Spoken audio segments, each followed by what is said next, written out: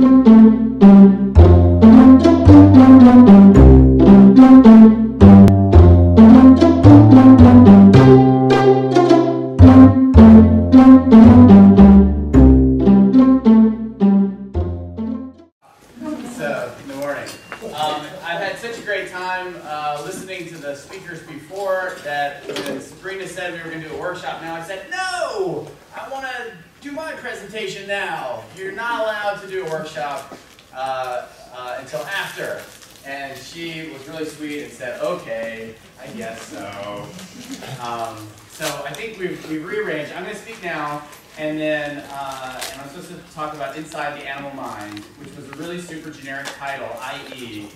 I'm to wait till I get here to see what people are interested in and then talk.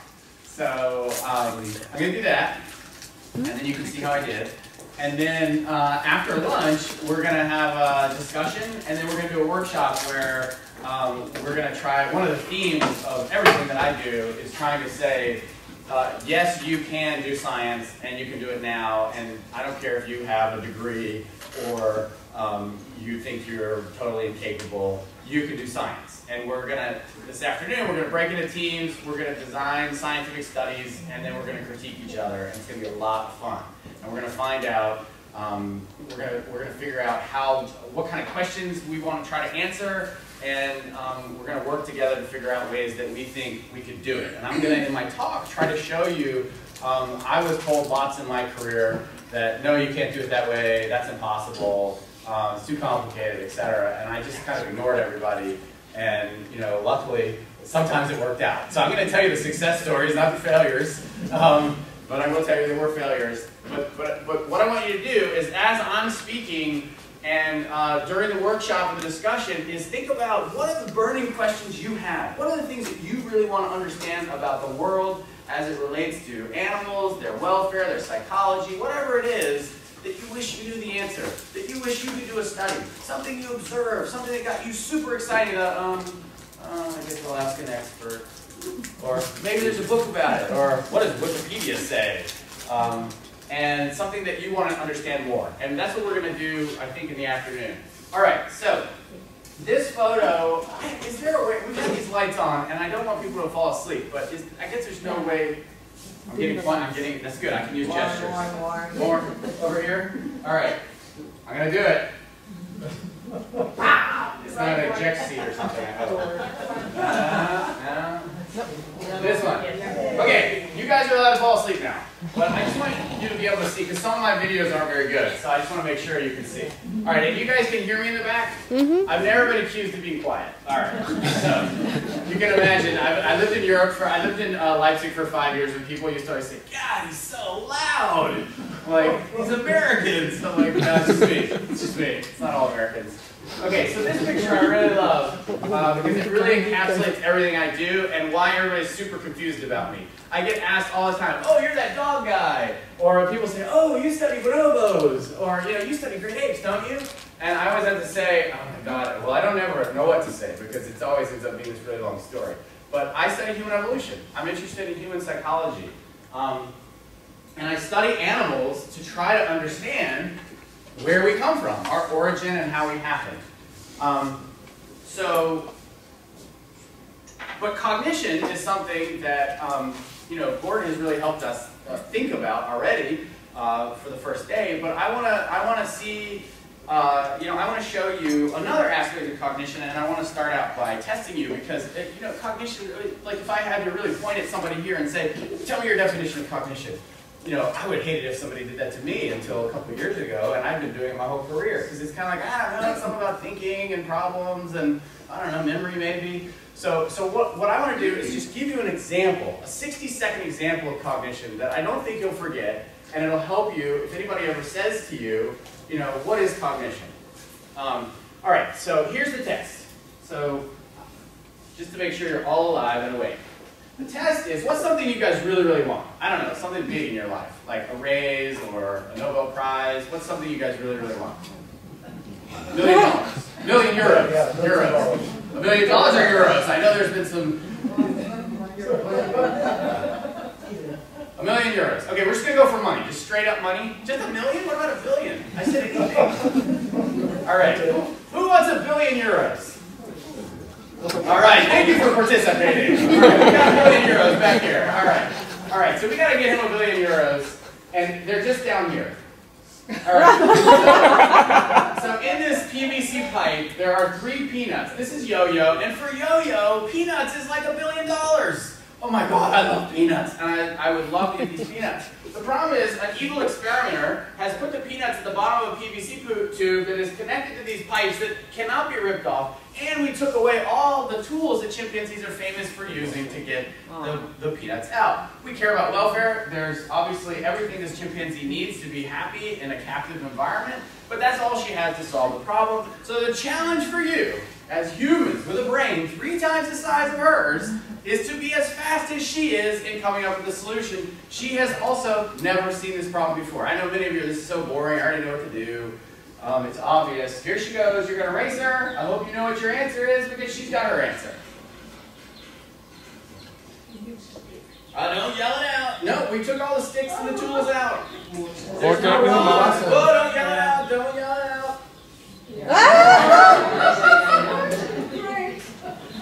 Okay, now, some, the key thing is that she had never seen this before. This is a spontaneous behavior uh, and potentially could represent an inference.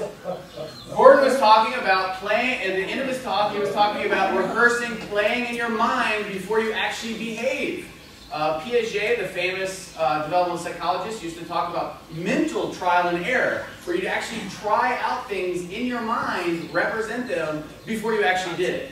So this is an example where maybe Yo-Yo, when she came up with the solution, she thought, huh, I've seen water, I've seen things float, I think maybe she even knew peanuts float. Maybe this is a, maybe this is a situation where I can put some water in here. Now, some, some people probably knew the answer and you're really super chimpanzee smart. My question is, does anybody here know the second solution?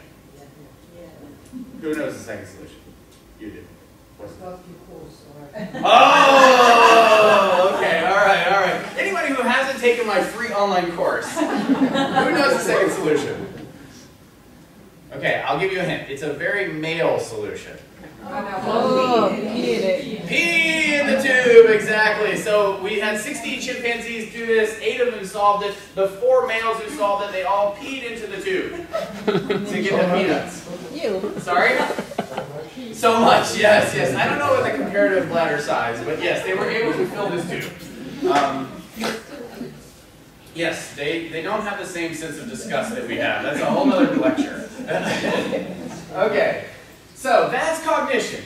A spontaneous uh, ability to spontaneously solve a problem, showing flexibility, potentially even making an inference uh, and that's very, very different than a trained response where you have to practice a lot and finally you learn a skill and you can kind of do it over and over. All right. So my two guiding questions for all the research I do is what is it that makes us human?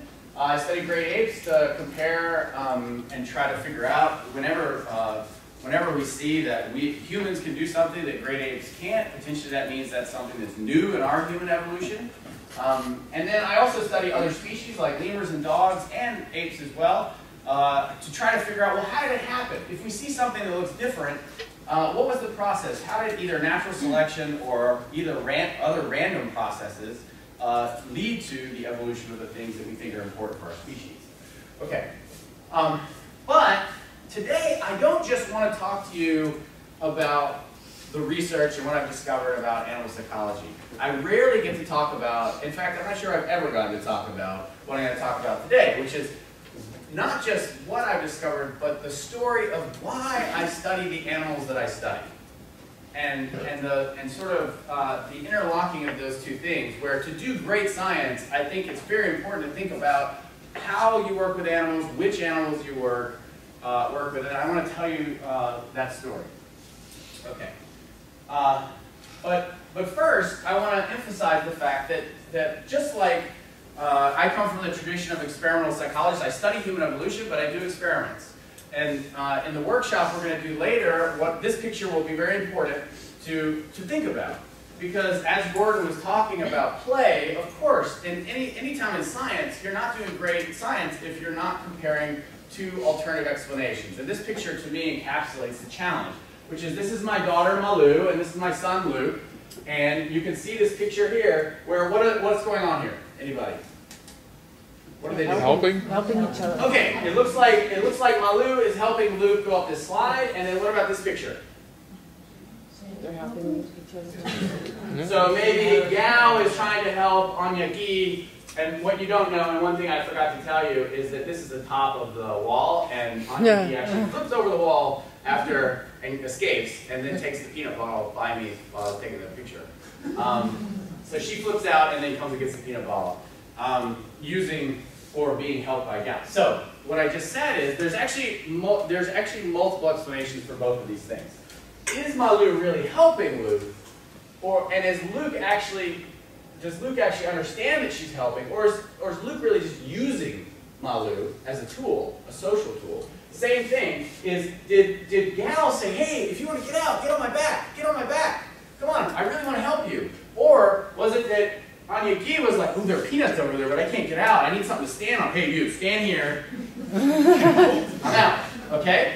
Which was it? Was it that, that Anya Gi actually, uh, and Gal actually understood that they needed to work together, and then Gal could really help Anya Gi, or did Anya Gi just use uh, Gal as if she was a rock?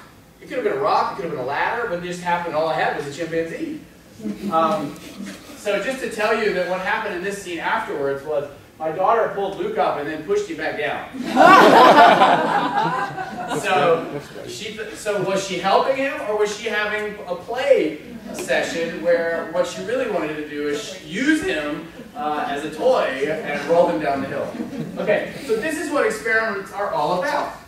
Anytime you observe a behavior, even though it looks the same between two species or two individuals, it can potentially have multiple explanations. And of course, in experimental psychology, uh, we tend to emphasize the most parsimonious explanation or the simplest explanation until you can rule it out uh, in favor of a more complex explanation. You can argue about whether that's the, um, you know, always the best way to do it, but that's, that tends to be how people, uh, you know, how the logic goes. Okay, so doing that, uh, I'll just give you one example of, uh, just another fun example of a study, just so you can see uh, chimpanzees and apes being smart, because it's fun. Um, this is two studies we did, uh, or a series of studies we did. I'm just going to give you one example, though, from this long series of studies of chimpanzee cooperation. Because when we started studying chimpanzee cooperation, basically in the, in the experimental literature, there was a huge fight between the experimental literature and the field work. People in the field had seen chimpanzees doing incredibly sophisticated things. In the laboratory, people were like, wow, they do nothing. So I don't know what these field people are talking about because when we give them spontaneous problems like that tube task, but in a cooperative situation, they can't do anything. They can't, they can't spontaneously solve any problems. So it must be that whatever they're doing in the wild, it's not very sophisticated and nothing like humans. So we came up with a new way to look at cooperation. And actually, it was a Japanese scientist who came up with this apparatus. And how it works is it's like your shoe and a shoelace, where you have a board, you put some food on the board, and then you put a string through it. And of course, if you pull on one end of the string, well, the string comes out of the board. So you have a string and no food. If you pull both ends of the string, you get to eat. Okay? But of course, as evil experimentalists, if we spread the two ends really far apart, I can't reach both. So then you have to work together.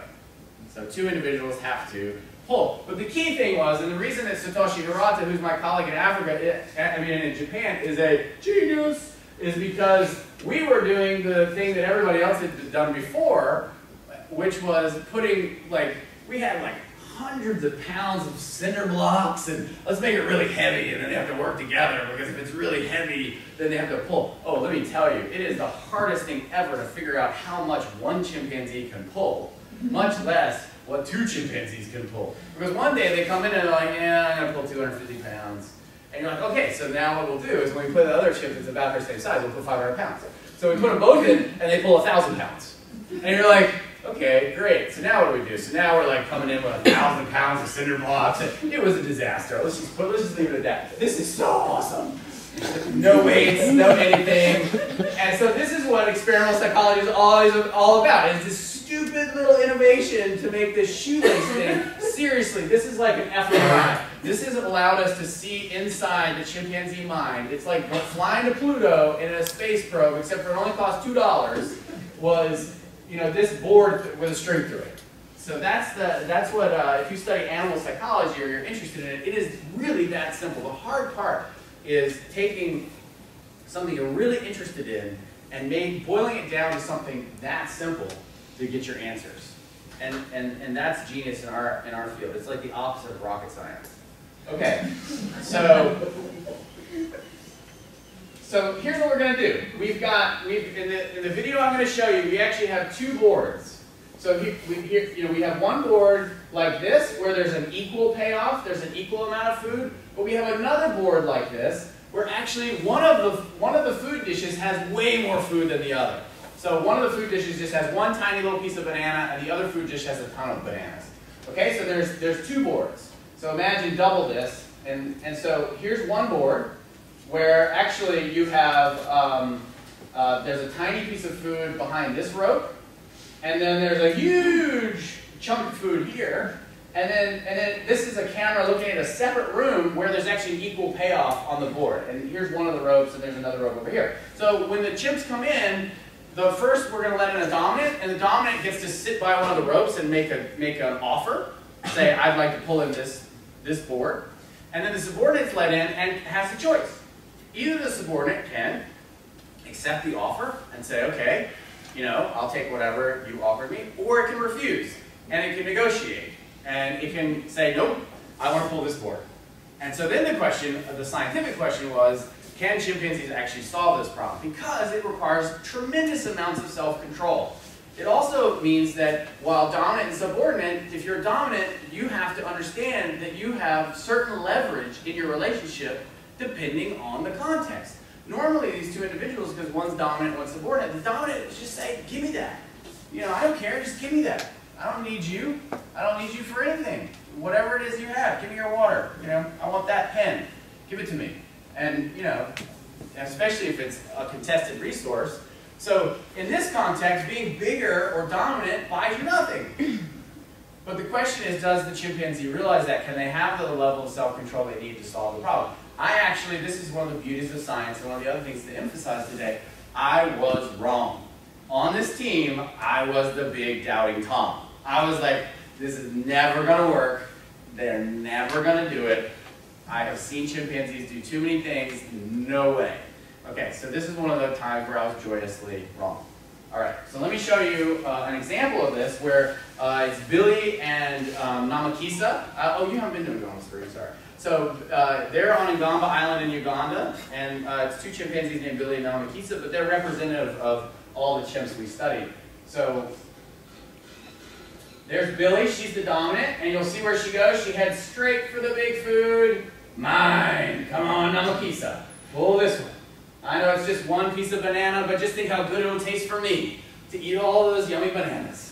Okay, there's Namakisa. No way. I'm, let's do the equal. Let's do the equal tray. Billy says, okay, you can have the big one.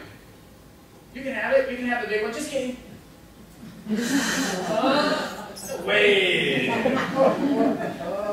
Okay, no, no, seriously, seriously, you can have the big one. I promise, you can have the big one. Oh man, this sucks. All right, so this is where I thought they somebody was just going to pull the rope. They just couldn't handle it. But this is really interesting. So Namakisa comes over, still resisting. they had five minutes to solve the problem. Billy gives up. Namakisa wins. They both eat, but they get the equal payoff. Okay, here's what's even more interesting about this study. What we found is 95% of the time they could solve this problem spontaneously. We didn't do anything, we didn't train them, um, we just did some controls to make sure they understood the situation. But here's what's interesting, and this is really crucial also for thinking about animal cognition, is I really dis I discriminate between negative and null results. So a negative result would be one where animals don't do anything. Let's say they had failed this problem. Um, well, that's a negative result because I don't really know that the test was fair. A null result is where an animal didn't do something in a test that I actually do think was really fair. So here, what's really interesting is 95% of the time they solved this problem, And we actually made it harder. We made the division, that split, even more extreme. They kept solving the problem. It dropped down about 80% of the time. But there's something we didn't see. They never, never, ever, in all the games we did, in all the pairs we tested, no one, none of these chimpanzees ever used overt gestures or communication to try to recruit help. And you saw Namakisa, she came over and she stared like this. So maybe that's overt communication. But never, chimpanzees are famous for using gestures, bonobos too, for using gestures to ask for help. And they know when others can see and stuff. Never do we see it one time. So that is something I would call a null result, where I think it's, it's, it's been a fair test. Look at the sophisticated behavior they showed. But what was absent, and what human children do, is a lot of gestures, a lot of recruitment, a lot of communication in this cooperative context. So that's how we can figure out not just what chimpanzees, where they're sophisticated, but also what sometimes they're not doing. Um, and so that's a result where I feel more confident to say, and obviously you want to do more studies, but uh, where maybe they aren't going to use um, communication in more cooperative contexts. Okay, so that's just an example of what we do. All right. So I, I had a problem though. Uh, I, I did my uh, undergraduate at Emory University. I actually was a student of Franz Boal, Mike Tomasello, and uh, it's all I knew was working with chimpanzees in laboratories uh, in the United States. And I had a problem though, because when I was at uh, Yerkes, uh, and actually when I was, I, this was my senior year, an email was received by all people at Yerkes, and I was on the email list, so I got it, which I always, to this day, I'm amazed that they sent it to me, is there was an email that basically said all the chimpanzees are going away, uh, you'll be losing access to your animals, and you know we are in the process of shutting everything down because the federal government and the National Institute of Health uh, doesn't see chimpanzee research as a priority. So be ready at any moment. We may take your subjects um, and, and be ready for that. Well, I really had kind of mixed feelings about that because by this time I'd worked there for a few years and I was frustrated with the situation regarding welfare. And I had started to sort of question whether this was okay or not to have animals in this context. So at the same time, uh, I remember my first job interview I had was at Emory actually. Uh, and um, somebody who was, you know, pretty, uh, a, a, big decision maker, an administrator who went on to work for the NIH pretty high up. I had lunch with him, and he sat down with me and he said, look, Brian, you know, it's really great, all the stuff you're doing, but I have to tell you that, you know, you're a baby dinosaur. Your field is dying, and you really need to become a systems neuroscientist if you want to survive and to flourish. So this was sort of the, the it's a true story, Gordon. I know you believe it. Uh, you know, you need to be a system neuroscientist. Have you ever thought about doing fMRI and, you know, pop popping people in scanners? Because that's where it's at. And, you know, you're really good and that would really fit your skills. And, you know, my, my response to that was, um, you can imagine, uh, no thank you. Uh, but in my head I was saying other words. Um, so, as an example of the extreme thing that led me to really abandon the labs, I just led a petition um, together with the Humane Society of the United States that I think really encapsulates the culture and philosophy of laboratory science in the United States towards animals.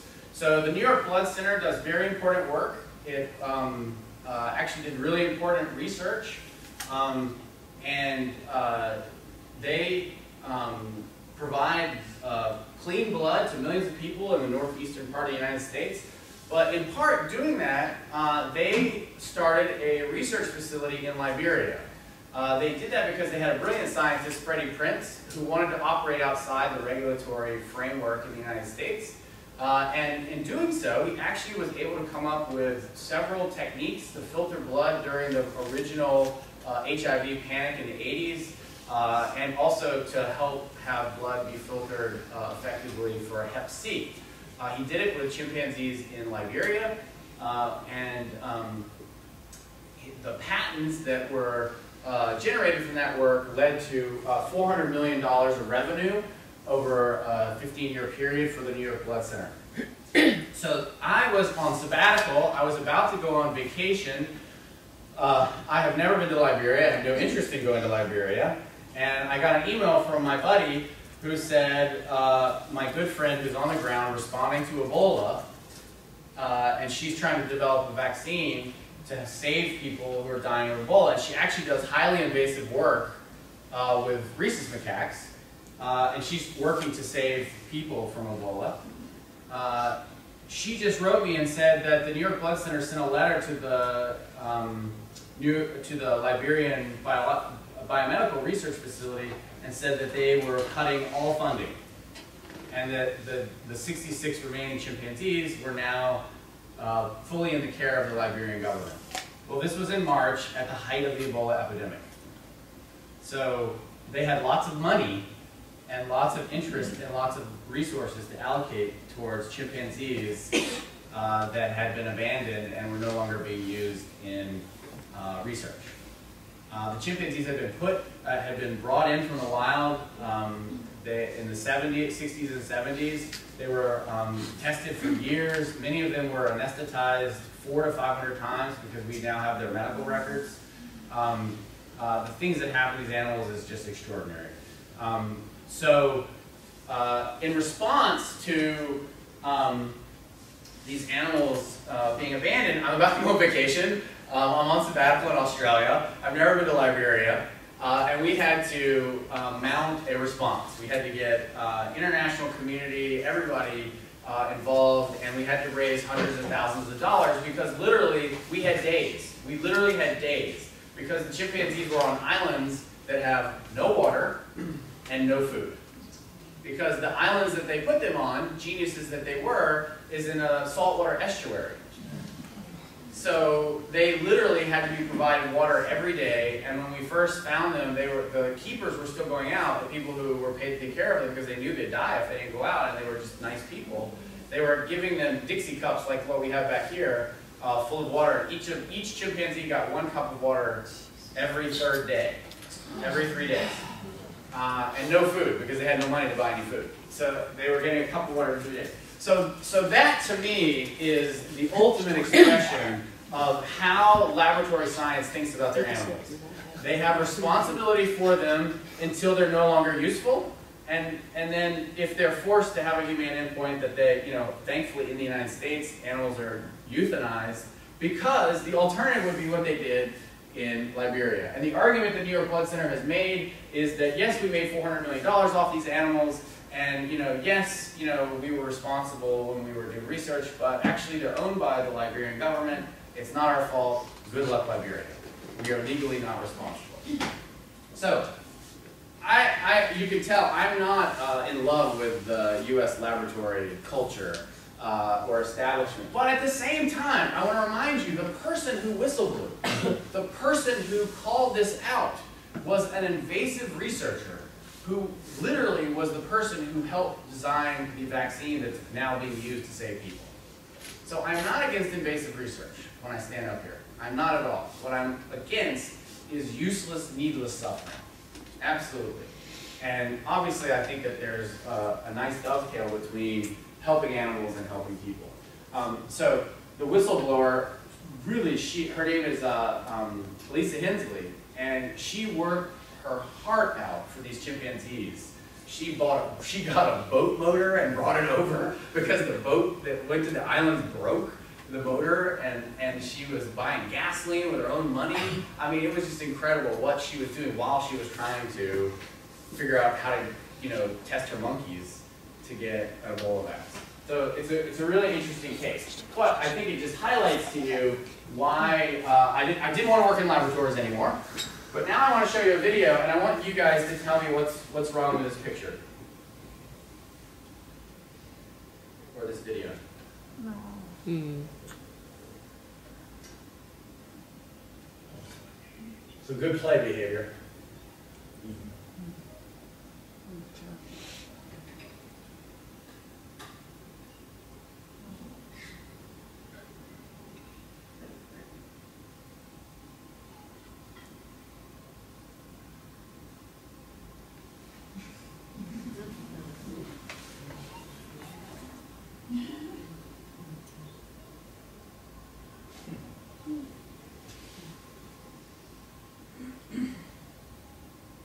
So who knows what's wrong with this video or this picture?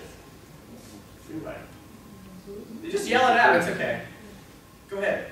Well, yeah, to to me that like the chimpanzee is locked inside and the, the child is free and can do everything. Okay. very close. So the chimp's inside, the kid's free. Anybody else? He, the, the chimp might be hungry. Okay. The food? Oh, and he's teasing with the food. She was teasing. That's by the way, it's my daughter. Um, uh, anybody else? Frustration.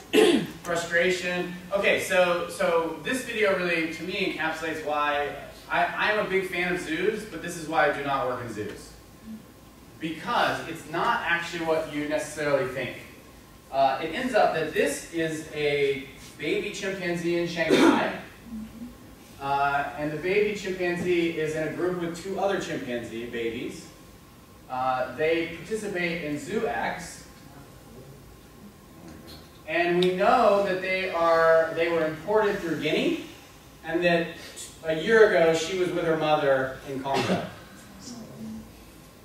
Uh, and that this is uh, become an epidemic, um, and the, the United Nations has written reports, and we've all heard about ivory, we've all heard about rhinos, and great apes have become part of this massive illegal trade in animals.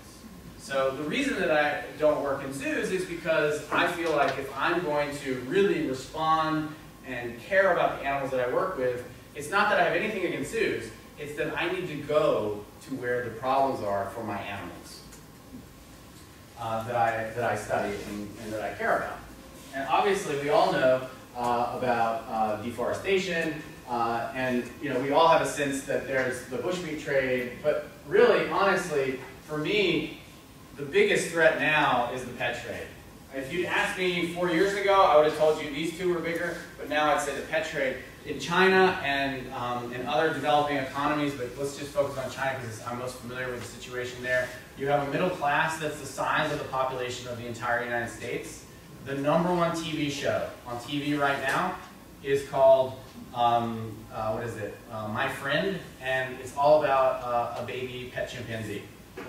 Uh, and so we have, you know, done research in our own research group showing that when people see TV shows like this, they think that obviously these animals are great pets and that they're not endangered. Uh, and so we also know that people are able uh, in China to get uh, um, chimpanzees uh, for $50,000. And if you were to tell anybody in Congo that the, each of those animals there was worth $50,000, they are, and rightfully so, going to immediately become entrepreneurs.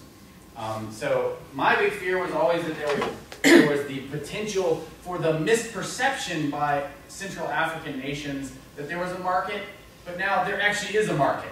It's not a misperception. It really is that there's a market. And the worst thing they can do to any animal, as Paul was talking about, is commercialize it. Um, and uh, it's not just parrots now, it's also great apes. Um, and parrots are suffering from the same uh, problem as well. So, the place that I have chosen to work is a place that really nobody had worked before, before I started working there.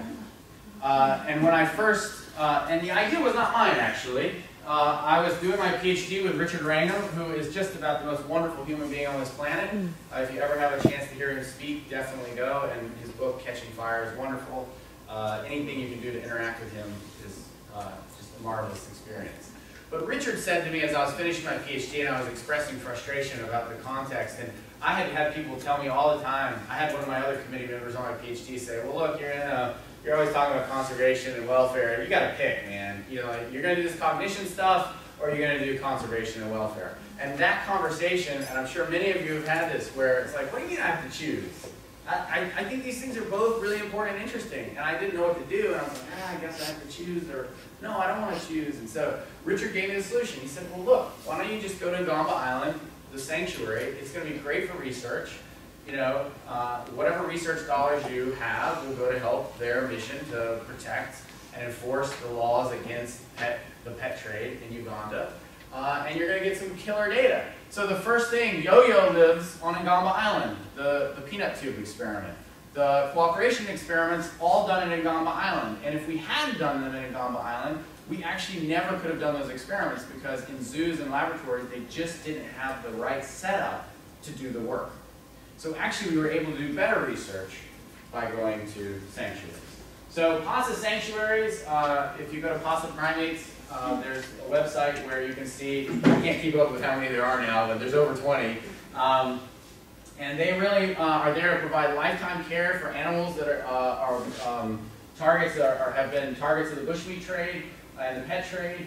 Um, uh, when orphans come in, they're usually receive or have a, a surrogate mother who's a human, uh, typically, and they have access to um, primary tropical forest, typically, and in uh, most of the sanctuaries, certainly the more well-established ones.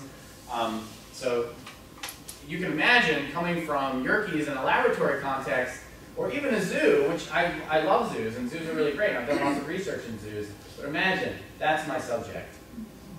So after I finish doing my experiment, that's where my subject goes. Now that's the place I want to work. So, uh, and they were, they, they all live in multi-female, multi-male groups. Um, and the, what happened was then, I went to Ngamba, but I also had had a lifetime fascination with bonobos, and I desperately wanted to work with bonobos, and I'll spare you all the scientific reasons why. Um, but in, in um, trying to find a place to work with bonobos, well, there really isn't a place where you can work bonobos where you have a sample size that would be big enough, and also the facility is designed where you could do some really creative, innovative work. Well, there's one bonobo sanctuary in the entire world, and it was founded by Claudine Andre, pictured here. Um, and so this is one of the other things that when you start working with sanctuaries, is you, you get to not only do great science, but you also are inspired. Because you could not meet a more inspirational character, um, somebody who's done more for animals, and now has done more for science, because she welcomed us to her sanctuary. Uh, even though all my colleagues kept saying, oh no, these are crazy people, you don't want to work there, they're never going to let you do science, you'll never be able to do good science there because they're so wrapped up in welfare and you know conservation. So just to let you know, if you go to our website, and I'll give you the website link, we have a research tab on our, on our page. We've had 60 publications, six zero publications since 2006. So in, uh, what is that, less than 10 years, we've had 60 publications. So this is somebody who's really not a scientist, um, actually is very skeptical of science, but has welcomed us and understands the value. And it's beautiful because unlike in a laboratory where honestly welfare is something that is um, required, but it's not a priority. And here, anything I do, anything that I'm going to do as a research project, this person risked her life for that animal. And I have to get her to say yes. Can you repeat her name, please? Uh, Claudine Andre. So anything that I do scientifically, I've got to get this person to say yes. Um, and so I much prefer that. It is frustrating. It doesn't always work out. And sometimes there are misunderstandings. We're all human. But I much prefer the conflict and the confusion and the problems at a sanctuary than I do the equal level of frustration, if not more, at a laboratory where I'm actually fighting the opposite battle. Where, you know, can I put in something nice for the animal? You know, and they're saying no. Whereas here, it's like, no, I think if you do the test for, you know, you're saying you want to do your games for four hours, I only want you to do them for two. So it's the opposite. I'm always fighting for, can I do some more science, more science?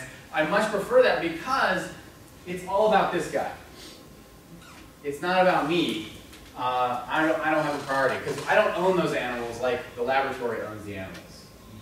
Okay, so this is um, one of our, one of everybody, if you work at Bonobo, this is one of our favorite stories. It's Lomela. Lomela came in totally dehydrated and in horrible shape. Uh, she quickly made friends with other orphans. This is Wanda and Lomela. Uh, and obviously, um, uh, she had got lots of TLC, tender loving care from uh, her human surrogate mothers as well. Um, and this is Lomela, uh, I believe it was about 10 months later, uh, after she was at the sanctuary. And even better, this is Lomela now.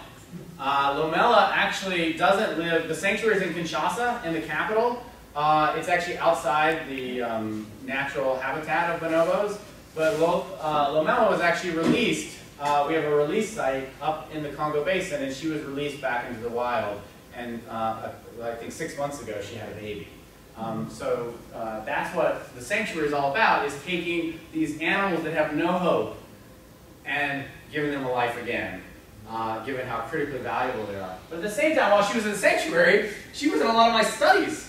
Uh, and she actually participated and, and, don- and, and donated her time and energy to um, uh, contributing knowledge about her species. So if you're interested in Lola ya Bonobo, this is our website.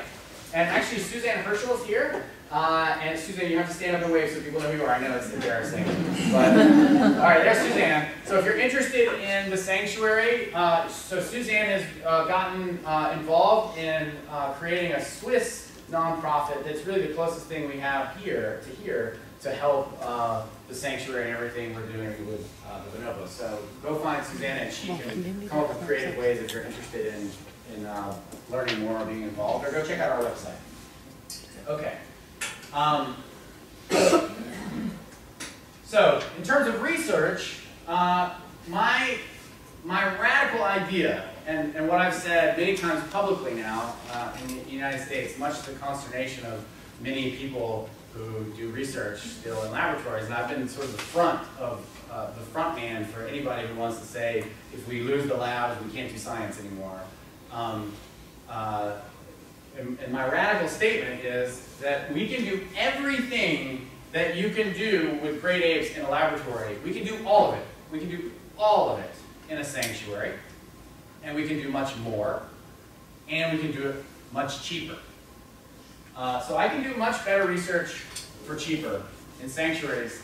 And that's the egocentric uh, argument. But not only that, but it's a win-win because I'm actually helping the animals that I work with. So this idea that it's always animal versus human has got to go. We've got to start thinking about how can we help humans by also helping animals. Um, and I think that there are ways to do it, but I think that people are so, um, there's infrastructure that needs to be protected. Their, their jobs, you know, there's a system that's been built, institutions, and so obviously you're going to have very strong inertia to um, not embrace this. Okay, so here's just some of the cool studies. Just quick, I'll give you a couple of highlights of things we've discovered. Uh, we were able to do the first comparative developmental research between chimps and bonobos. There literally had never been a quantitative comparison of our two closest relatives to each other before we started doing research. There had been um, qualitative comparisons, but never quantitative comparisons of their cognitive ability. So we found that bonobos are developmentally delayed. Um, they don't uh, develop the same level of spatial memory as chimpanzees. That's just one example. I can tell you why that's interesting, but um, I'll spare you. Another really fun one is this is something you could never have done in a zoo or a laboratory. Uh, we were able to compare chimpanzees and bonobos for their cortisol and testosterone reactivity in a socially stressful situation. So we had male bonobos and male chimpanzees that we showed, okay, there's going to be food, you're going to be able to share this food or not share this food. Uh, and in, in, anticipation of going in and potentially sharing food or not being able to share food, we took saliva samples before and after this, and what we found was that chimpanzees have no, chimpanzee males don't have a change in their cortisol, and they have a big change in their testosterone, okay? In anticipation of potentially competing for food. Bonobos have the exact opposite response. So male bonobos get really stressed out, they have a big cortisol spike, a massive cortisol spike actually, no change in testosterone. So this is consistent with the idea uh, that chimpanzees are sort of status driving, whereas bonobos have a more passive coping style. And so this type of comparison is absolutely impossible in U.S. laboratories. You want to know why? There are no bonobos in U.S. laboratories. In the age of comparative genomics, where we're comparing genomes left and right, how are we going to learn interesting things by comparing the genome of chimpanzees to themselves? When we have all these other interesting species and other great apes we could look at. Okay, so I want to show you one fun video that sort of summarizes uh, uh, some of the most exciting work we've done with bonobos. Um, and then it'll uh, lead into some of the other sort of education welfare activities we've done regarding apes. I don't know if the sound can work though. Oh, it doesn't work. You guys hear that? Yes. Not one. And the bonobos and chimpanzees are like our cousins. And it's a little bit like having two first cousins. They're equally related to you, but they're different from each other. One of the reasons people haven't heard of bonobos is because bonobos only live south of the Congo River in one country, the Democratic Republic of Congo. Infinitely, but massively jump to their sexual behavior. Kama Sutra is quite boring if you watch bonobos for a while. But I think if bonobos could talk, they would sort of be puzzled and say, really what's special about us is we are the only ape that doesn't kill. One of the ways that we've tried to understand bonobo psychology better is we've given them the opportunity to share with one another in a way that challenges ideas about how humans might be unique. Given that bonobos in the wild are not aggressive towards um, strangers, and in fact are often seen interacting with them uh, quite peacefully, uh, we thought, well, what a wonderful opportunity to test this idea.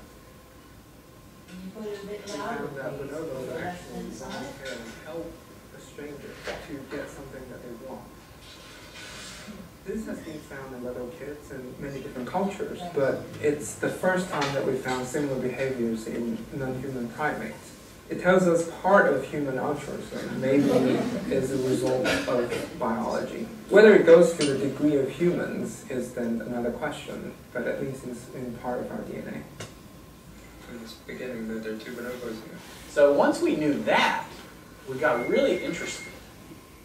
It about bonobos emotionally that allows them to do this? So one of the fun things that's been used to understand how animals, including humans, feel about others is to look at contagious yawning. We know that contagious yawning in humans develops in young infants right as they begin to have empathy towards others. Start recording. This is my body, um, group main session. So we showed what we call bonobo TV. They saw either a bonobo that they knew very well yawning, or they saw a bonobo they'd never seen before yawning. When they saw the videos of the strangers yawning, they yawned more often than when they saw the video of the bonobos they know yawning. So it seems that bonobos have even a level of emotional engagement or even empathy towards strangers that we don't see in other species.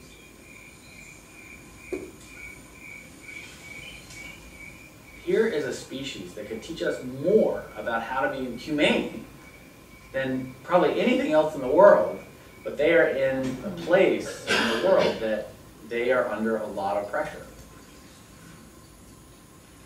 Most of the bonobos that we study, the mothers has been killed by poachers and hunters, and when they were little kids, they were sold in the black market as pets. Lola ya Bonobo Sanctuary is an orphanage for bushmeat victims. Today, I would say that things are harder than ever. China and India are having a huge influence in Central Africa. You know, our big fear was that there was going to be a perceived market for bushmeat, a perceived international um, market for pet great apes. But the reality today is there's a real market. Great apes are being sold for fifty to three hundred thousand dollars each to zoos, circuses, and private individuals. In terms of how many bonobos are remaining in the wild, the short answer is scary few.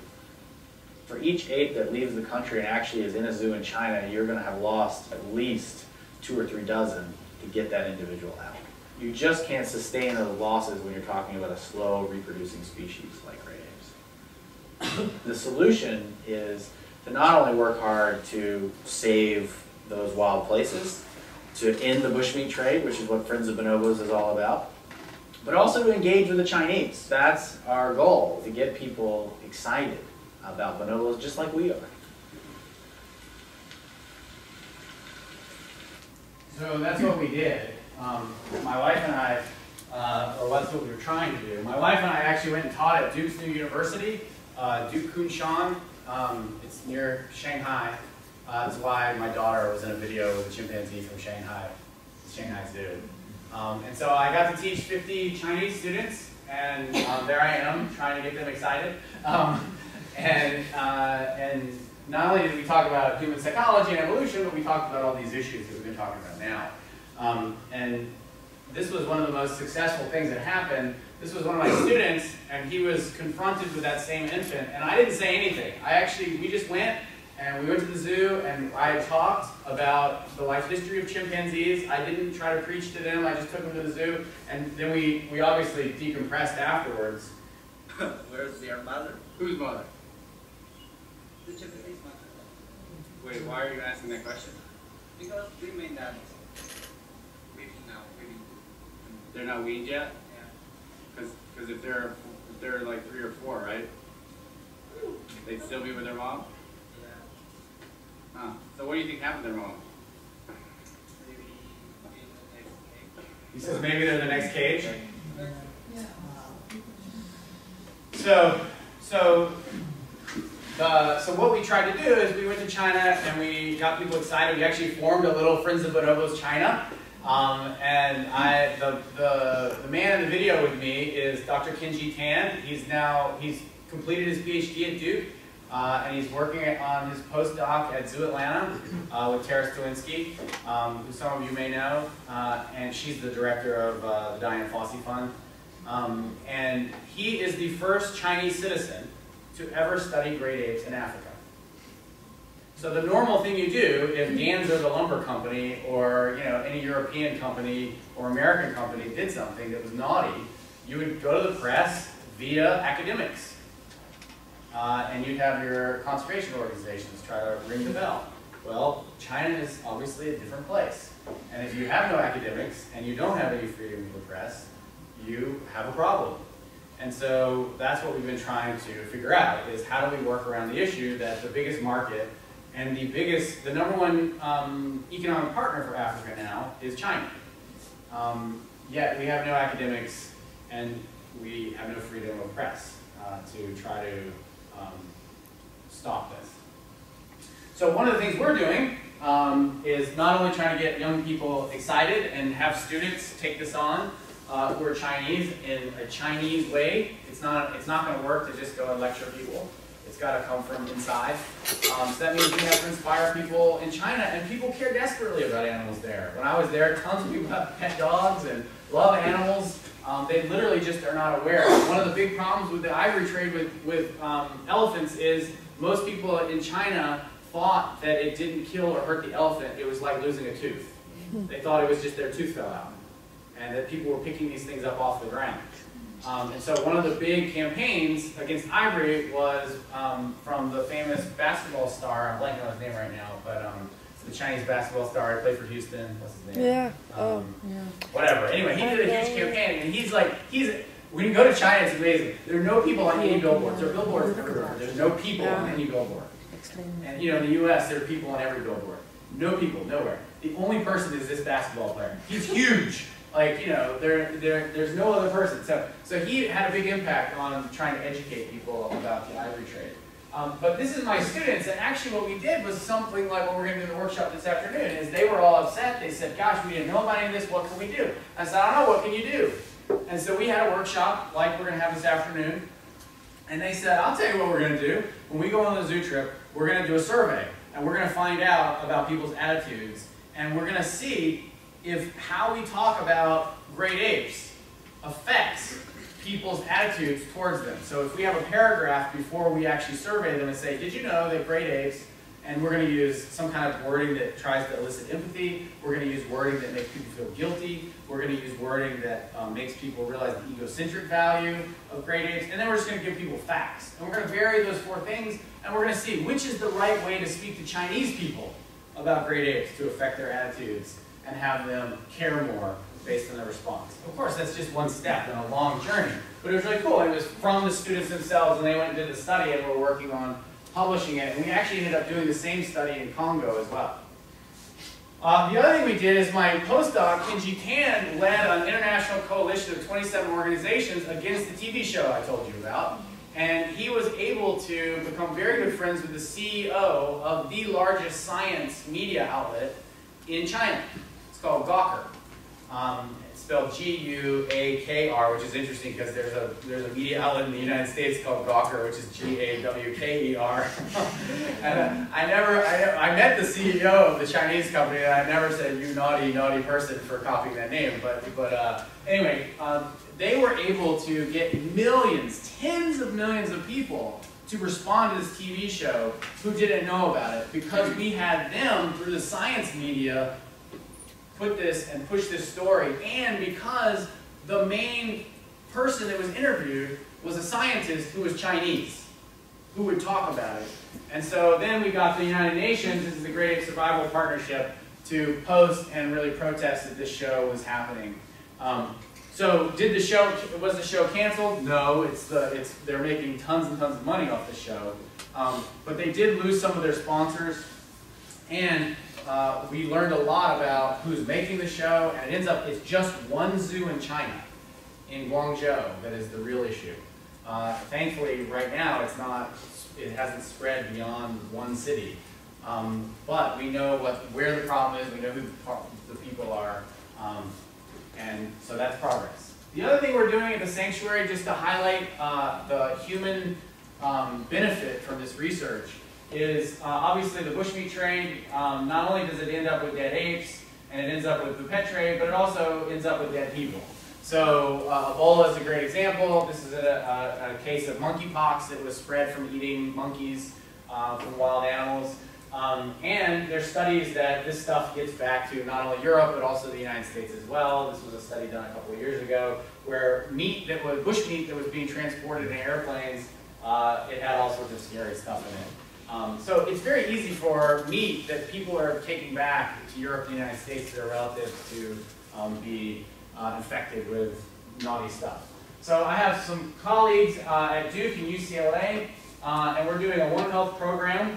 Uh, and the question is, um, oops, can we can we somehow affect the bushmeat market? Can we study the bushmeat markets? Can we monitor and, and do surveillance of what is in the meat? Um, can we go to the, somehow in the Congolese airports and help them do better jobs screening? Uh, and also, there's a big issue, and this is how to get the Chinese interested, is the number one thing that uh, the Chinese are doing is exporting labor into Central Africa, who then come back two years later after eating bushmeat for years. So they've got lots of people who are eating this stuff that are coming back to China, and that potentially scares uh, people into thinking about, well, huh, maybe we should be part of the solution instead of part of the problem if all our people are going to come back with these terrible diseases. Okay. So we are involved in what's called a One Health program. We're doing veterinary research with the bonobos. We're trying to study respiratory disease in the bonobos, which is the major factor that kills the bonobos. Uh, we think it's probably anthropogenic in its origin. Probably the caretakers have respiratory infections. They're giving it to the bonobos. But we're also really interested in the larger problem of trying to stop the bushmeat trade by studying its impact and potential for spreading emerging infectious diseases. Okay, so this is just a breakdown I did from uh, a few years ago. This was when I really made people mad. I actually went and presented this at the National Academy of Sciences when they were deciding whether to continue doing laboratory research with chimpanzees. Um, and uh, nobody, none of my colleagues were happy with me. Um, so basically, I just took, um, a, I just did a comparison of laboratory publications to the publications in uh, Leipzig, in the Leipzig Zoo, Lincoln Park Zoo, the Zoo Atlanta, and then PASA Sanctuaries during this time period and just looked at the total number of publications related to um, behavior, psychology, cognition, um, anything related to that. And what you see is we publish more. We publish in all the best journals, about the same, uh, and you know it's very, very comparable, if not better, uh, in the sanctuaries and the zoos. Because the main thing that people are trying to argue is there's no alternative. There's no other place we can do this. Well, too late, guys, because actually we're doing more than you. The other thing I did is I presented this, which really got people mad, um, was this is how much it costs per day um, for, to house an animal, and this is how much um, at the time it was uh, costing to house an animal. And I don't even actually, as a researcher, I don't pay for that because it's a welfare organization that takes care of its animals. I only contribute to the paying for that. And so when I calculated out what my per diem is, so this is what a researcher has to pay. They have to actually pay the $40 a day to work with an animal at a U.S. laboratory. I actually was paying a quarter uh, per day per subject that I had access to. So I was 1 160th the lab rate. Um, but I did, but we had done you know, as much research. So it can be done. There is an alternative. It is very viable. It is a different culture. It has different problems. We need more resources, just like everybody. But is there an alternative? Absolutely. And is it is it going to win the day? I think it is. Um, uh, and, and, really, the reason is because I have I've had more students than anybody. Um, because because we've been able to do research, and these people are going on to start their own uh, labs. So uh, just to tell you what's happened is there's really a two by two in research, available funding and research costs.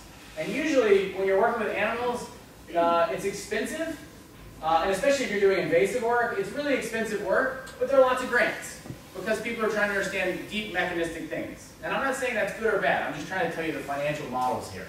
So usually it's expensive work, but there's lots of money for it.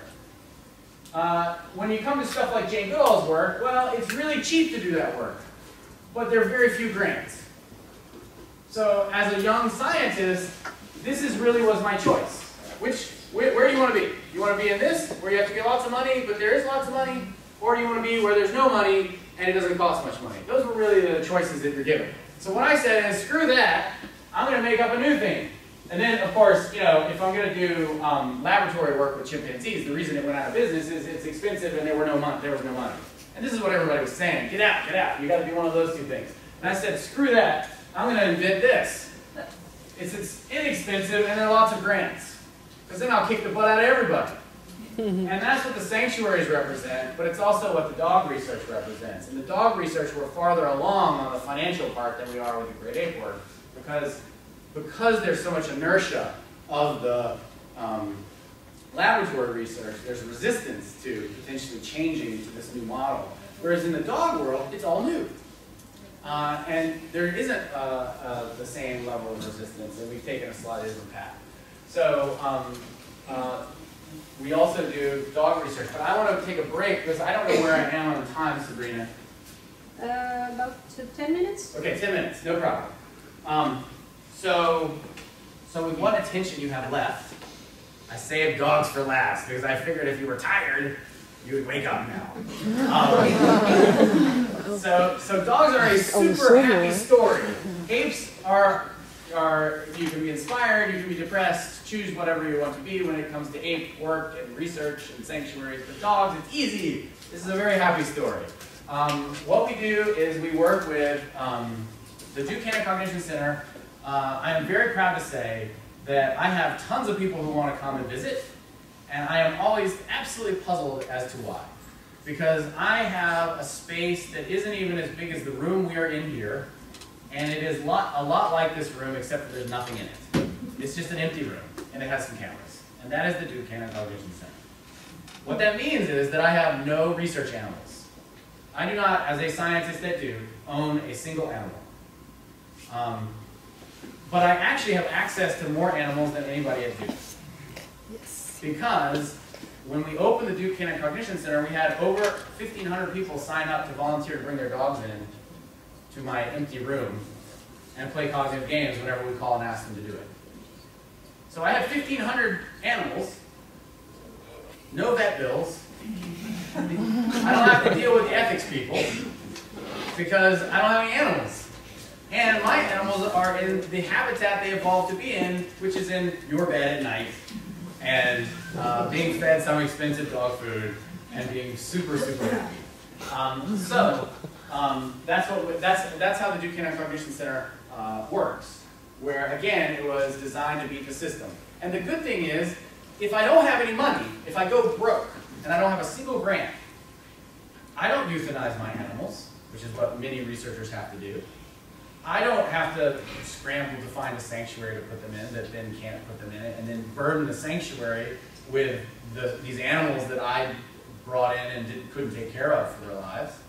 If I go broke, nothing happens. My empty room is empty, just like it always is. Uh, if I have lots of money, I can do lots more research. It's that simple. So it's really a great model, and I really think it's going to save comparative psychology and bring comparative psychology back from essentially being dead, especially in the United States. Because as neuroscience took off, comparative psychology, all the things that we're interested in, behavior, how animals think, there's not a lot of resources for it. But I think the dog is really going to save it. Why, why, uh, why do people agree to work with you? Why do they come to So the question was, why do people agree to bring their dogs in um, and uh, play games? I have no idea.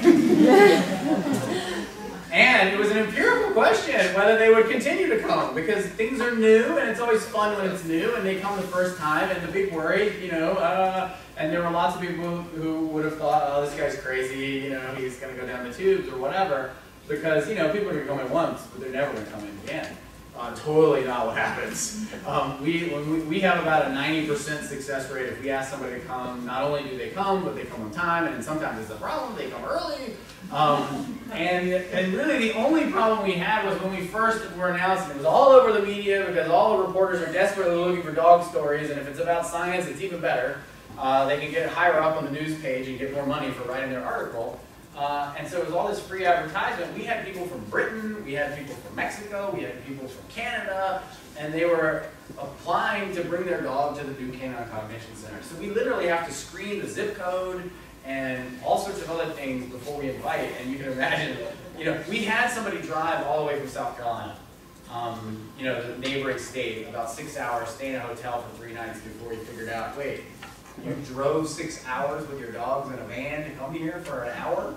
Um, so then we had to, you know, be more careful in asking. So, uh, dog people love their dogs, um, and people really enjoy having their dogs play these games uh, and learning more about what's going on in their minds. They also like the idea that they're contributing uh, to science. But the other thing is that people really love about it is they get to say that their dog went to Duke. And, and in the United States, there's some cachet for that. Uh, you know, the university you went to is, you know, kind of like whatever. And so they get to say my dog went to Duke, and you know, my joke is we have the highest acceptance rate and the cheapest tuition at Duke. Um, and so people like it. They get to take their dog at Duke. So I started studying dogs because of this guy, uh, my, my pet dog growing up. Since I only have probably five minutes left, I'm going to just rush through and tell you. It ends up that um, uh, we found out that dogs do interesting things. And we'll, we can talk about this in, oh, Yeah, you can, I mean, after lunch, you can take more time to finish your talk on the, on dogs if you want. All right, all right, all right. So do you want a break here? you want me to stop? Yeah, let's do Sure. that. So let's have lunch. There's a few of you said yesterday actually because there's not so much to do. Um,